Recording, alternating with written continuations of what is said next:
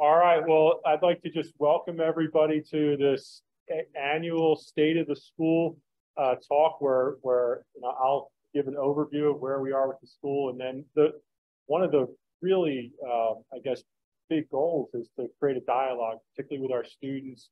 Um, so I'm going to focus in our talk on uh, student issues um, and get a conversation going on where we are with some of the different things that are going on for, from a student perspective. So the, the state of the school, it really quickly or briefly, is it's awesome. Like we're in really, really good shape. Um, our, our programs are, are growing and we got a lot of activities to improve the curriculum and other activities. Our, our research is really off the charts in terms of the number of people we're working with, funding levels, graduate students, et cetera. So it's just an extremely positive time for the school. And it's that way because of you. There's some faculty in the room, which is awesome. Uh, our faculty are terrific, all the work they're doing and mentoring the students. And then our students, thank you for being here. It's, it's great. You're awesome. You're fun to work with. And we appreciate all that you do. So just um, high level numbers, we've grown to about 1,100 undergraduate students. And that's, that's quite an increase over the past four or five years. I would say when I started as school chair, our numbers were typically in the seven to 800 undergraduates, climbed to around 900, and, and recently it's really bumped up. Our graduate students are around 850 graduate students in our program. We are one of the largest programs in the world in aerospace engineering. Um, so our graduate numbers historically have been around 500. In the past few years, they've ramped up. A lot of that is for our distant uh, learning uh, opportunities, particularly at the master's level, but we've also had a big increase in our resident uh, graduate students as well.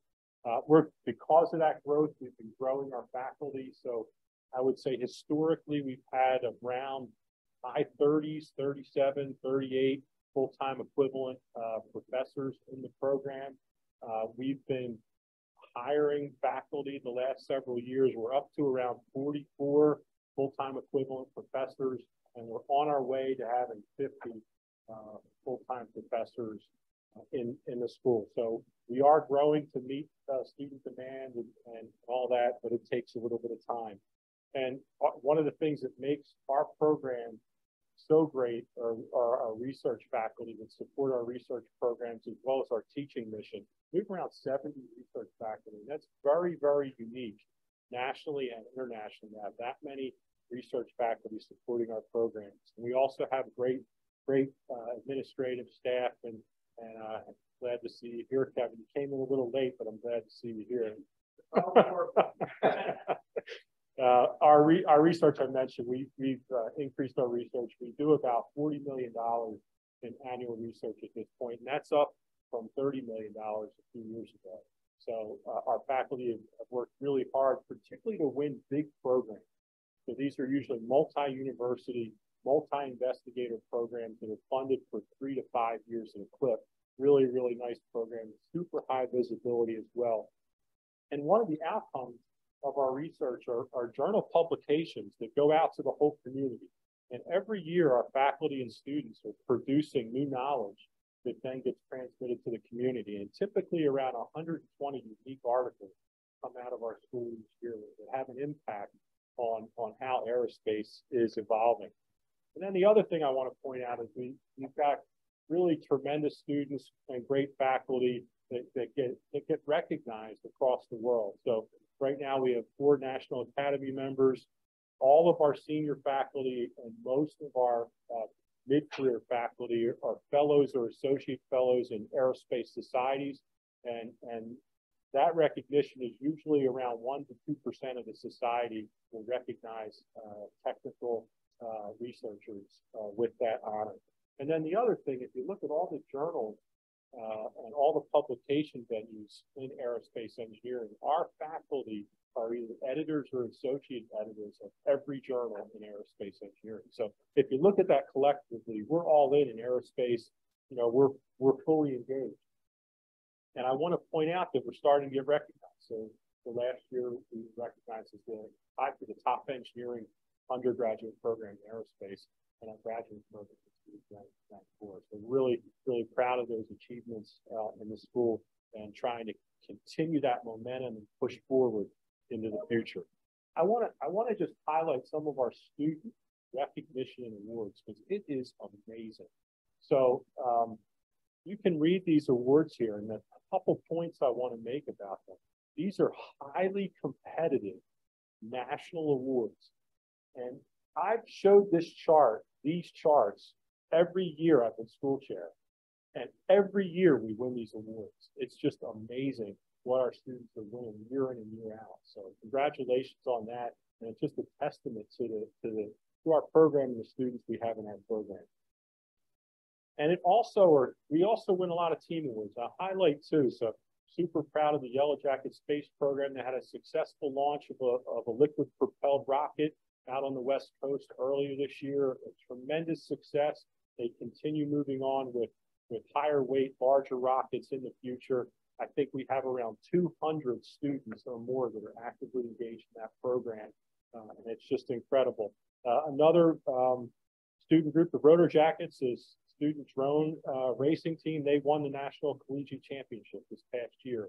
Um, we have other student groups that win win awards as well. So it's just really impressive. And, and that's one of the highlights of our program is the ability to get involved in other activities that are outside of the classroom. And, and it, it, one of the things I've learned as school chair is, is students get a lot out of those those extracurricular activities. And I often have people say that was one of the most important parts of my Georgia Tech education is working as part of a student group with other students to solve a difficult problem just wanted to take a minute to um, highlight our vision for the educational program in aerospace engineering. And it's certainly student-centered. We're, we're, focused on helping students put together a good experience uh, so you learn and can and can get a great job uh, in the future. And then when you're really famous and wealthy, give us a lot of money back in donations. So we're counting on that. But we have two major parts. First of all, is the courses you take. And we, we really focus on evolving those courses and putting together really great curriculum where you can learn a lot about aerospace and, and, and your interests. And I'll talk a little bit about one of the major changes that's going to happen in the fall in that regard. The second thing is what I mentioned, everything y'all do outside of the classroom, whether it be design, build, and fly, or Yellow Jacket Space uh, program, or if you're a tutor um, with mentor jackets, work on design competitions, all these things outside of classroom, we see that as an integral part of your education. So it's in-class activities and out-of-class activities. And what we work hard to do is make sure they can combine together in a meaningful way. So that's that's really the way we do the, the overall program. I think it's been been successful. One of the parts of that is making facilities accessible to all.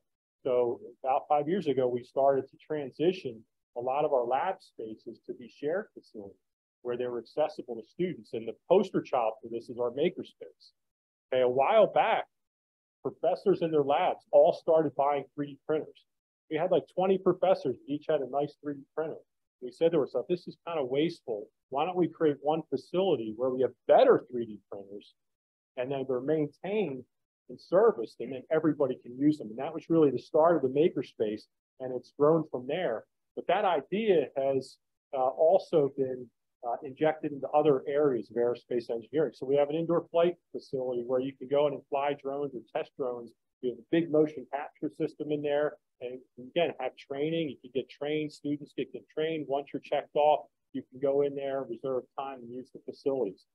The wind tunnels are, are similar. We have a couple wind tunnels, and we're moving that to be a shared facility as well. And we see that as a trend over over the long term of us creating these larger, really high quality facilities that we make available to not only research labs, but also students and student teams as well.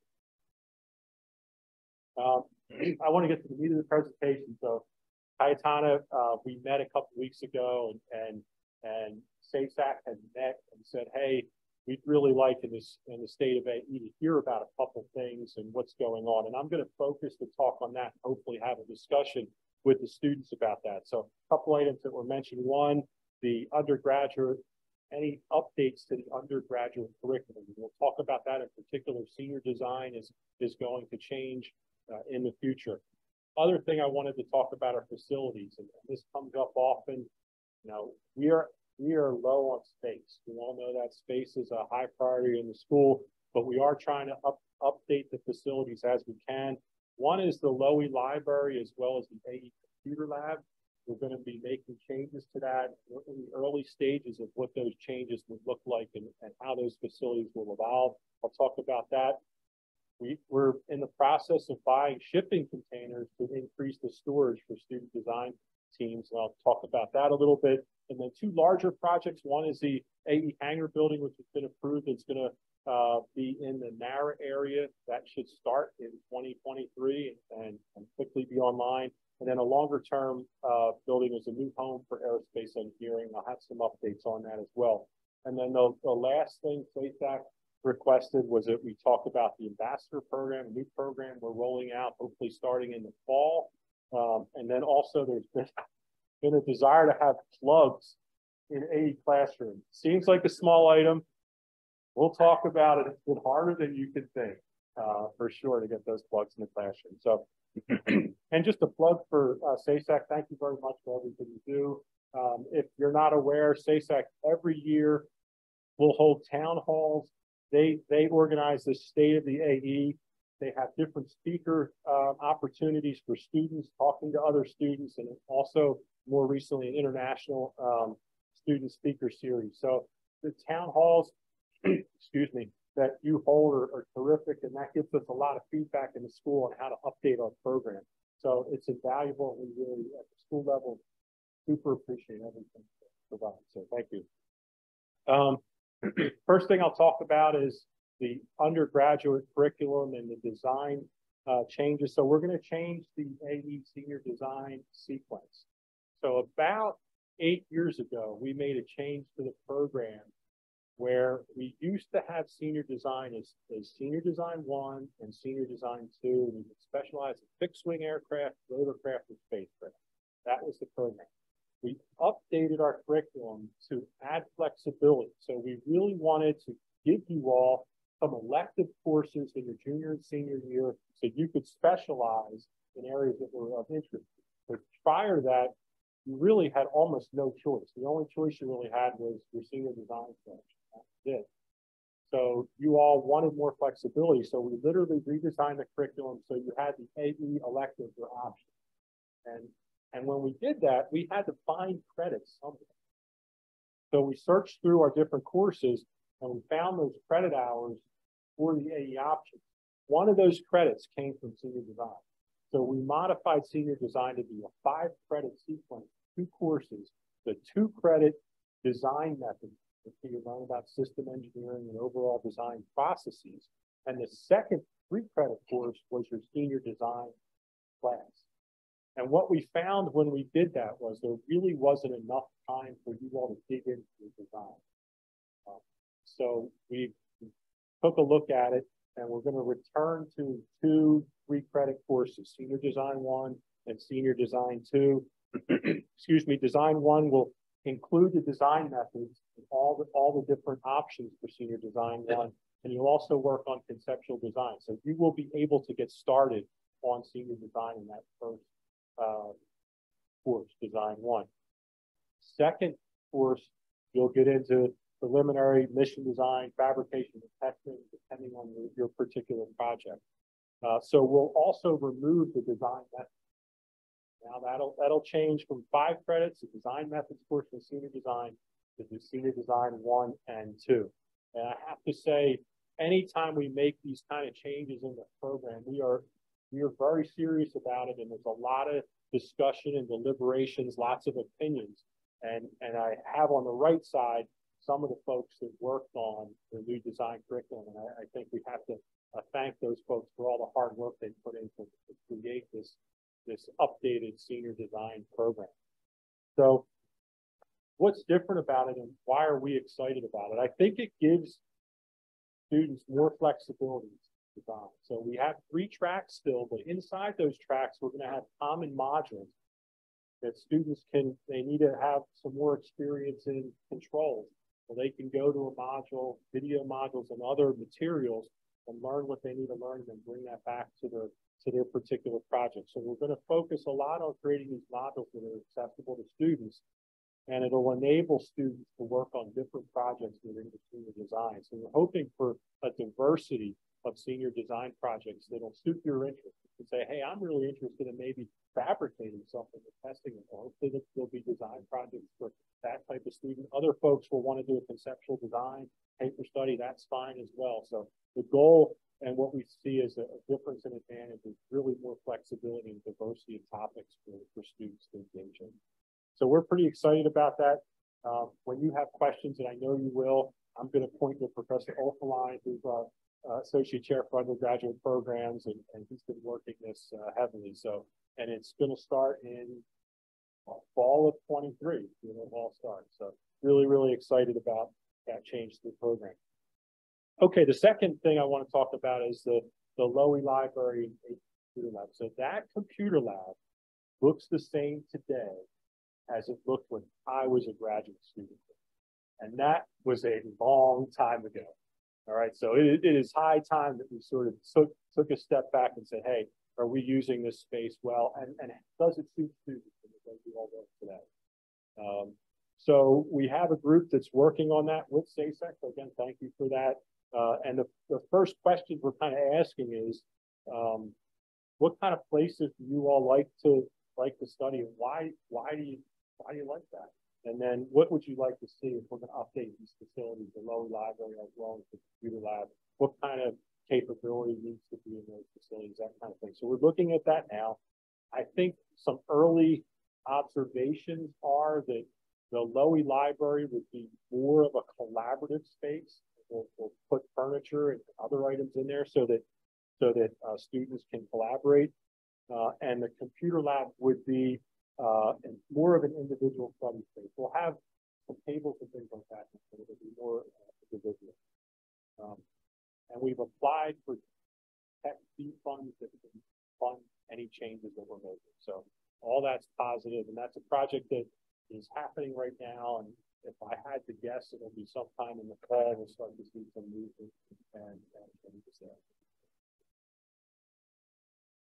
Um, so the other thing we're we're buying shipping containers um, and I'm going to put them in the courtyard. So here's a great picture of the courtyard. I just took that this morning. Uh, and where we're going to put these uh, is up here where you see the dumpster. Short, I think they're 10 foot shipping containers. We'll line, I think, six of them up. Kevin, is that right? Six of them you're purchasing. Uh, and we're going to line them up and then we're going to assign them to different student groups uh, can kind of rent them and have access to them. So instead of storing a rocket under your bed in your dorm, you can now store it in their storage container. Okay? A little slightly safer. Okay, so we're happy about that. We realize that we need we need more space, period, just across the board, and, and we're really trying to find space and steal space wherever we can to, to satisfy not only our faculty and their research teams, but also students and the work that we're all doing. So all that's important. So we're in the process of purchasing them. I'm assuming we'll get them in the next couple months, Kevin.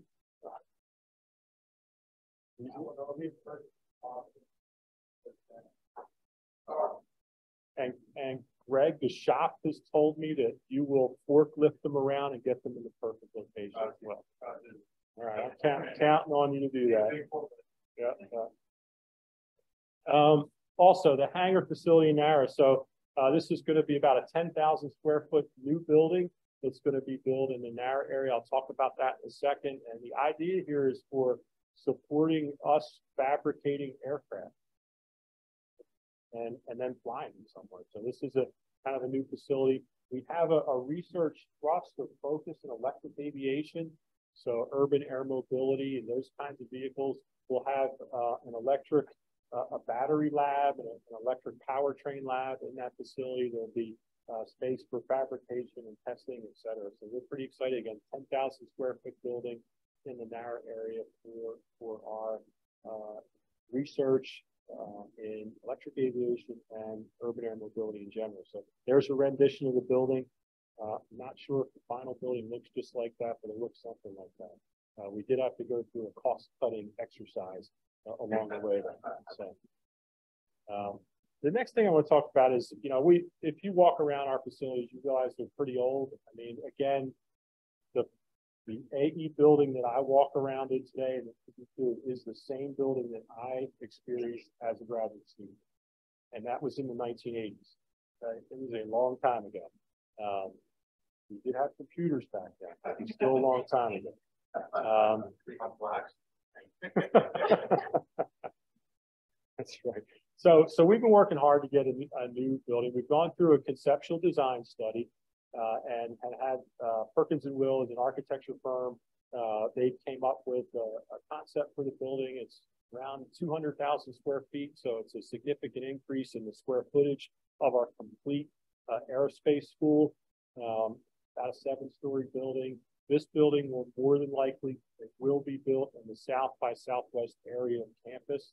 Um, and it's been identified as one of the key buildings for our capital campaign. Uh, and usually when a building is identified in the capital campaign, it gets built. Uh, and right now there's a lot of work going on in exactly the site where we would build this building. So uh, I'll show a little bit in, in one slide about the general area, but all that is happening now. I would guess that in around three years, we'll break ground. These things take a long time uh, to, to do, but if you don't work on it now, you won't have it tomorrow. So we're putting the time and effort in to make sure we have better facilities for our faculty as well as our students. And that is a cool looking building too, I have to say. They did a great job on it. Uh, so here's the South by Southwest part of campus. So um, Tech Square, we all take it for granted, but you know, again, going back to my time as a student, uh, Tech Square did not exist. Um, you never went across the highway. It was kind of not a great area, part of town. Uh, Georgia Tech purchased some land, uh, built the Georgia Tech Hotel and some academic buildings, and then private money poured in and really rejuvenated all of Midtown. And that, Midtown in the way it is today is because of the investments Georgia Tech made in that area. So super, super impressive. And Tech Square now is, is just a terrific part of campus. So we're going to do the same thing we did 20 plus years ago on the south by southwest part of campus. Georgia Tech has purchased about 50 acres. It's spread around that area. It's not all contiguous It's one plot. Uh, and we're going to start to build new buildings in that area and really revitalize that part of Atlanta. Um, so it's pretty exciting. That's where our home will be in the south by southwest part of campus. So just to orient everybody, I can do this. Yeah, I can. So here's where we are right now in Guggenheim. Um, if you look, here's the, the Coke buildings. If you're familiar with Randall Brothers, it's an old construction company. We purchased that land. That seven acres is Georgia Tech owned. Um, there's the Wells Fargo Bank. And if you look down on the lower left, uh, that's NARA. That's the North Avenue Research Annex. And the combustion lab is in there. The structures lab is in there. The uh, propulsion lab, electric propulsion lab is there. The um, the hangar building. So,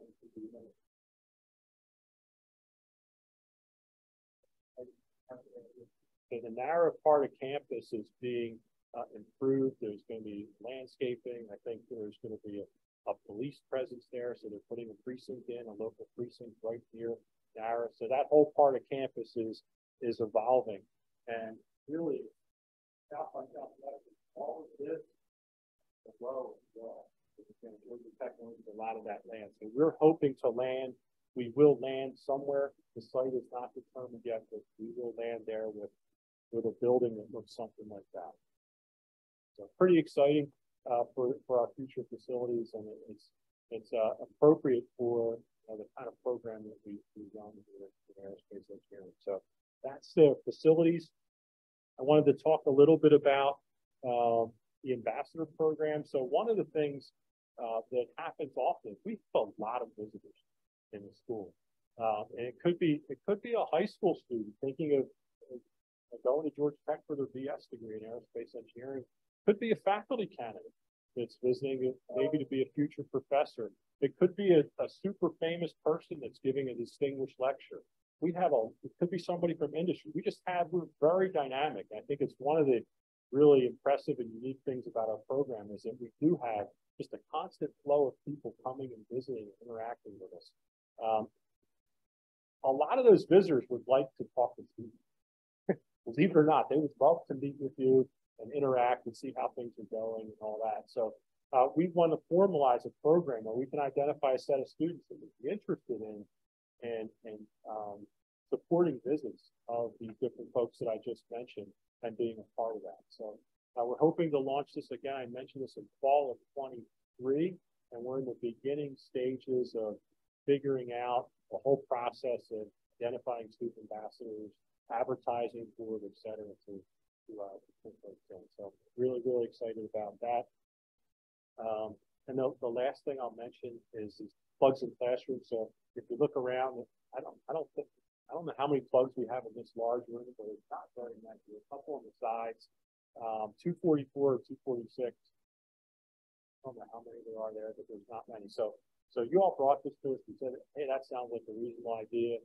We took it to Georgia Tech. We said, we want to do this. Is it okay? And they said, no, the electrical system can't support the load uh, for that. Um, and then they also had some safety concerns with the ports and all that, which I think could be mitigated.